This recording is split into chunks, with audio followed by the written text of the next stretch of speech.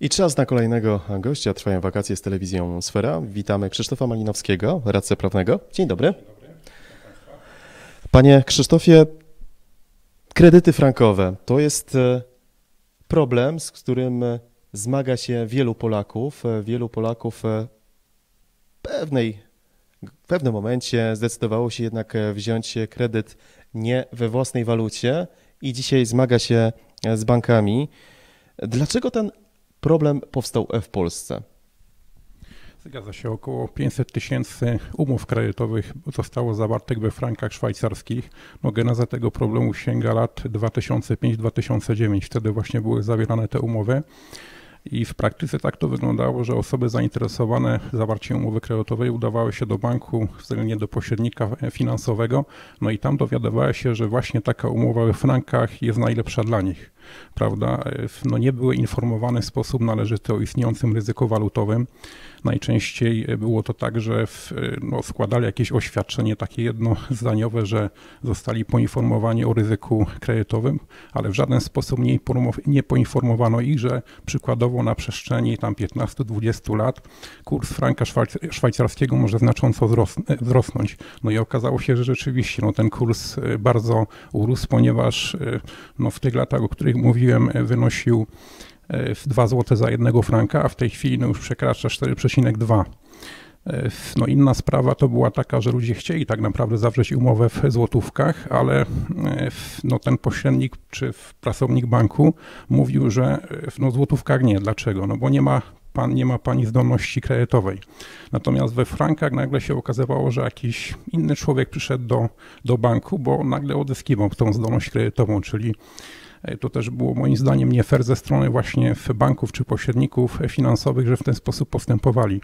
No trzecia sprawa e, to jest to, że banki stosowały tak zwane kursy przeliczeniowe e, przy uruchamianiu kredytu e, po pierwsze, a po drugie przy spłacie przeliczały franki na złote e, według tabel kursowych, które w sposób arbitralnie ustalały. To nie było tak, że to były jakieś kursy NBP przykładowo, tylko same sobie wymyślały każdego dnia kursy.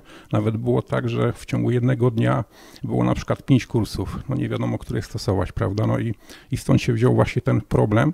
No z czasem oczywiście ten kurs franka szwajcarskiego wzrosnął, no i teraz mamy te sprawy sądowe, no masę spraw sądowych. Czy warto dzisiaj złożyć się pozew przeciwko bankowi, czy klienci e, tych banków nie są bez szans? No ja myślę, że teraz to jest dobry moment, gdyż e, jeszcze kilka lat temu e, konsumenci przegrywali z bankami w przeważającej większości spraw, ale to się bardzo zmieniło po wydaniu orzeczenia w, w tej słynnej sprawie państwa dziubaków. To było w 2019 roku. No i od, od tej pory już to orzecznictwo mm, sądów powszechnych polskich tak się zmieniło, że no zdecydowana większość spraw jest wygrywanych. E, w- Przeważnie te umowy są unieważniane, a tak naprawdę no to jest stwierdzona ich nieważność przez sąd, dlatego myślę, że w, no teraz jest jak najbardziej odpowiedni czas, żeby się zająć tym tematem. A jak wyglądają takie rozprawy i ile mogą trwać? One mogą trwać e, kilka lat nawet, to w zależności od, e, od sprawy. No ciężko tak powiedzieć bardzo precyzyjnie, prawda, ile sprawa potrwa. No najszybciej sprawa zakończyła się, w którą ja prowadziłem w pierwszej instancji przeciwko bankowi w ciągu siedmiu miesięcy udało się uzyskać e, wyrok korzystny dla kredytobiorcy, natomiast no, trzeba się liczyć z tym, że, e, że zakończenie sprawy prawomocne, no bo nawet jak będziemy mieć wyrok sądu pierwszej instancji, no to nie znaczy, że mamy temat załatwiony, bo bank się od tego z reguły odwołuje, także no myślę, że tak przynajmniej dwa lata trzeba poczekać na prawomocne zakończenie sprawy. Właśnie wcześniej często bywało tak, że kredytobiorcy mieli niewielkie szanse na to, żeby wygrać z bankiem. Niedawno się to e, zmieniło. E, W chwili obecnej e, większość tych spraw wygrywają jednak kredytobiorcy, czy można powiedzieć, że jest 50 do 50, że uda nam się jednak zakończyć szczęśliwie? No jest lepiej nawet niż, niż 50-50, ponieważ no tak około 90% spraw jest albo nawet więcej, bo z miesiąca na miesiąc jakby to orzecznictwo jest jeszcze bardziej korzystne dla, dla konsumentów. No banki mają troszkę inne statystyki, ja też nie wiem do końca z czego się one biorą, bo w, no ten procent jest mniej korzystny według banków e, jeśli chodzi o kredytobiorców, no ale na pewno się polepsza i w, no, trzeba przyjąć, że około 90 procent spraw jest wygrywanych i z tego no prawie wszystkie dochodzi do stwierdzenia nieważności umów. Także ten proces jest, procent jest naprawdę bardzo korzystny dla e, kredytobiorców. Tutaj porada dla kredytobiorców. Mamy kredyt we frankach. Co musimy zrobić, jeżeli chcemy wygrać z bankiem? Jaki powinien być nasz pierwszy krok? No pierwszy krok to powinien być taki, e, żeby udać się do prawnika, który prowadzi tego rodzaju sprawy w e, pracy prawnego bądź adwokata. Najlepiej udać się do takiego, który faktycznie prowadzi takie sprawy. E, nawet więcej takich spraw zakończonych wyrokiem, bo ważne jest, żeby trafić też do specjalisty. E, no, trzeba zebrać odpowiednią dokumentację, umowę kredytową, aneksy do umowy kredytowej. Należy też wystąpić do banku, do banku o zaświadczenia odnośnie spłat na przestrzeni tych lat, jakie, w jaki sposób był wypłacany ten kredyt, jak to było spłacane. No i w, potem już resztą zajmie się prawnik w ten sposób, że przygotuje wezwanie do zapłaty, pozew, wniesie go do sądu odpowiedniego. No od dwóch lat mamy możliwość wniesienia do sądu według miejsca zamieszkania konsumenta. To jest fajne, bo nie trzeba kierować sprawy do Warszawy, bo z reguły wcześniej trzeba było kierować właśnie do Warszawy z uwagi na to, że banki tam e, mają swoje siedziby. No, natomiast teraz, jeżeli ktoś przykładowo mieszka w Rudzie Śląskiej, no to może albo do Sądu Rejonowego w Rudzie Śląskiej, albo Okręgowego w Katowicach, w zależności od tego, który sąd jest e, właściwy pod względem wartości przedmiotu sporu. Czy zdarza się czasem tak, że banki, widząc co, co się dzieje, że coraz więcej e, też takich spraw wygrywają kredytobiorcy, starają się pójść na ugodę?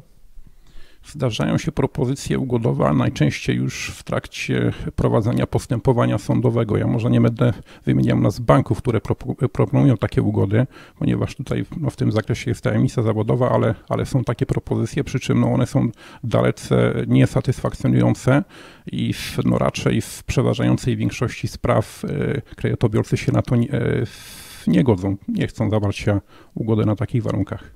A jakie korzyści właśnie kredytobiorcy mogą osiągnąć wygrywając sprawę z bankiem? W przypadku stwierdzenia nieważności umowy skutek jest taki, że umowa tak jakby nie była zawarta, czyli strony powinny sobie zwrócić świadczenia.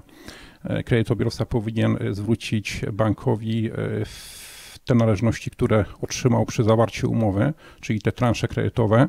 No czasami banki żądają dodatkowo wynagrodzenia za korzystanie z kapitału ale jak do tej pory sądy oddalają tego typu żądania, e, zarówno sąd okręgowy w Katowicach, Bielsku Biały, jak i w, w Białymstoku nawet wydał takiego taki wyrok oddalający powództwo, no bo to nie znajduje uzasadnienia w polskich przepisach prawnych, a tym bardziej przepisach unijnych.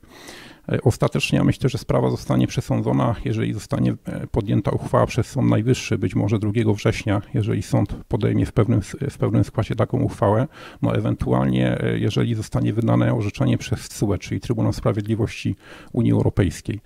Natomiast to, co może żądać konsument, to jest zwrotu tych wszystkich rat kredytowo-odsetkowych, a czasami również innej należności, jak przykładowo składek z tytułu e, w ubezpieczenia niskiego wkładu własnego, bo okazuje się, że tam nie tylko były mm, takie klauzule, które powodowały nieważność umowy e, z tego powodu, że były te klauzule właśnie przeliczeniowe, ale też inne, bo no, tam troszkę więcej miały na sumieniu niektóre przynajmniej banki. Czy prowadzenie takiej sprawy wiąże się z dużymi kosztami po stronie klienta?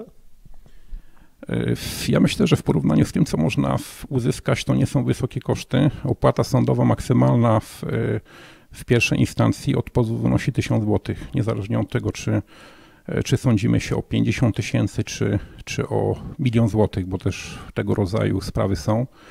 E, natomiast no, oprócz tego jeszcze dochodzi ewentualnie, jeżeli sąd nie zdecyduje się na stwierdzenie nieważności, ale odfrankowienie, e, to wtedy, wtedy zaliczka na biegłego powinna być wniesiona.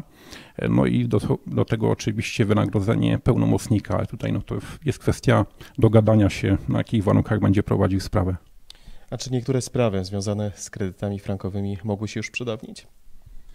No, do niedawna jeszcze były takie wątpliwości, były takie e, orzeczenia e, sądów powszechnych, że termin przedawnienia wynosi w tej chwili 6 lat tego rodzaju spraw. E, wcześniej, dwa lata temu, około dwóch lat temu, wtedy, kiedy nowela weszła do kodeksu cywilnego przed tym okresem 10, czyli no mogłoby się wydawać, że te sprawy, no kredyty były zawierane w latach 2005-2009, czyli ponad 10 lat temu, ale nie, ponieważ ten termin należy liczyć od momentu, jeżeli kiedy kredytobiorca podjął taką decyzję, prawda, powiedział, ja teraz dochodzę, chcę dochodzić do banku tych należności, składam reklamację, wysyłam wezwanie do zapłaty i dlatego te, te sprawy się nie przedawniły, zarówno ze strony kredytobiorcy, no ale również ze strony banku, czyli bank też może żądać te transze, prawda, zwrotu, zwrotu tych transz. To już na koniec, panie mecenasie, czy niedozwolone klauzule. One często zdarzały się w umowach kredytowych, nie tylko tych frankowych. Tutaj chociażby, jak e, już Pan wspomniał, ubezpieczenie niskiego wkładu. No, zdarzały się. No, te sprawy, które ja prowadzę, to w, praktycznie każda umowa ma jakieś niedozwolone klauzule, przy czym niektóre są E, w takie bardziej w, e, łagodne dla banków, w tym sensie, że jest, jest ich mniej, natomiast są takie klauzule, no, które nie pozwalają utrzymać tej umowy w mocy, także te klauzule występują e, w, no, przy, w przypadku praktycznie każdej umowy, no i tak powiedziałem, no 90% spraw jest, jest wygrywana, także sądy też jakby przyjmują, że, że w tym zakresie te, te uchybienia były nie do przyjęcia. Dziękuję serdecznie za rozmowę. Ja również. Państwu dziękuję za uwagę.